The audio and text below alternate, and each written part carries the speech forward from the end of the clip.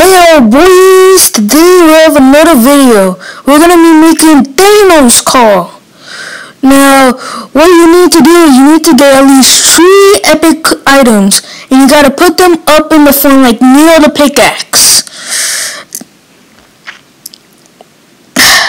Then you have to have max materials of one of your materials, wood, brick, or metal, and need an epic back bling and then, yeah. So this is pay to win, or is it? Maybe. But a little. Now you have to do the boogie down dance. So it properly works.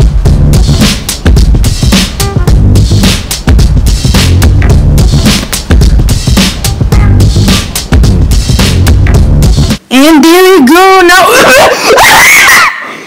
now, now you get it in there.